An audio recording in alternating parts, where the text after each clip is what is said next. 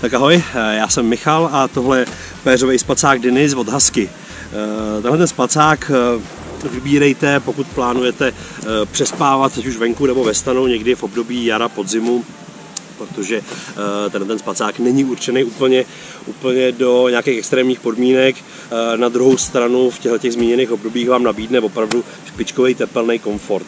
A obrovskou výhodou tohoto toho spacáku jsou eh, tady ty protiskluzní pásy, které jsou na té zadní straně, protože už se vám nestane to, co asi určitě mnozí z vás znáte, že sklouzáváte při spaní z karimatky prostě nebo z místa, na kterém ležíte.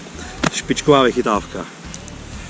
Na přední straně potom je praktická malá kapsa, kam si můžete dát něco, co potřebujete mít u sebe a z druhé strany potom vně toho, toho spacáku je e, kapsa podobné velikosti. Uvnitř spacáku potom po celé dílce zipu e, najdete takovou perfektní zateplovací légu, takže vám vlastně e, tudy neproniká nebo neuniká vlastně teplo ze spacáku ven. Hodně praktická věc je taky tohle ten ramení stahovací límec. Nevěděl jsem, jak moc dobrý to může být, než jsem to vyzkoušel. Mostí tohoto spacáku je samozřejmě obvodově upravitelný stahování